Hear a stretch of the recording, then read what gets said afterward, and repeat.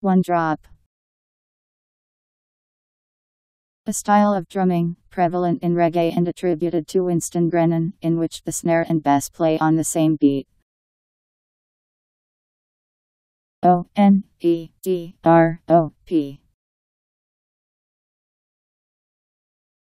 One drop.